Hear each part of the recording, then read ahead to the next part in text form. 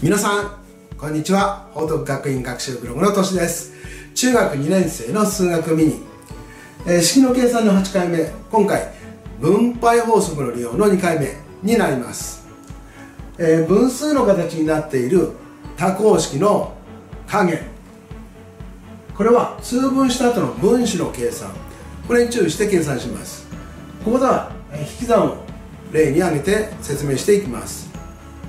5分の 4x プラス 3y 引く4分の 2x 引く 5y これ分母を見ると5と4最小公倍数は20なので通分して分母を20にします。20分の5が20になったということは4倍したということなので分子も4倍します。この時4かっこ 4x プラス 3y こういう形にしてください。引く。こちらも分母20にします。分母5倍したので分子も5倍します。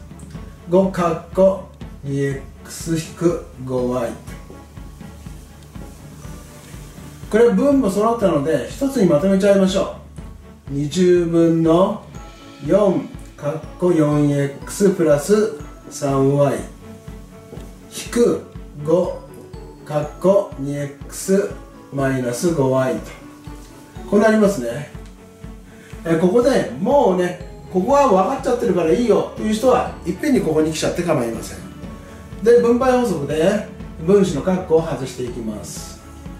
20分の四子 16x 足す四三 12y 引く5に 10x そしてマイナス5とマイナス 5y をかけるのでプラス 25y になります。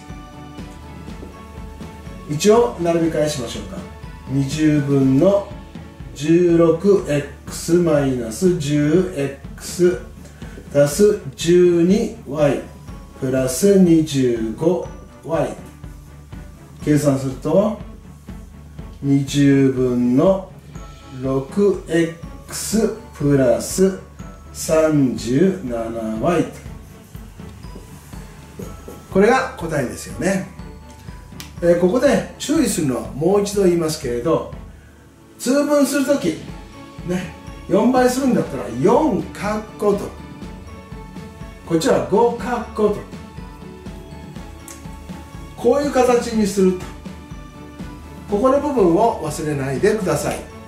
ここを忘れちゃうとカッコを外した時に符号を間違えること。これが多いんですね。ですからこの部分しっかり覚えちゃってください。